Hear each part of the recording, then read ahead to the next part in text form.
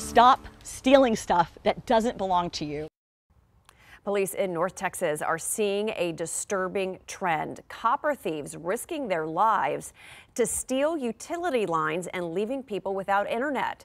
It is dangerous and potentially deadly.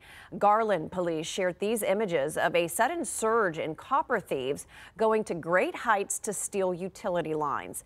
Police say they're doing it in the middle of the day in Fort Worth, Arlington, and Dallas. Several neighborhoods have been hit more than once. Each crime leaves customers without internet and costs providers thousands of dollars. No, this is not one huge organized crime syndicate. This is individual people committing these types of crimes, and they're doing it right in front of us. Police don't know what started the spike. They do know, though, that it needs to stop.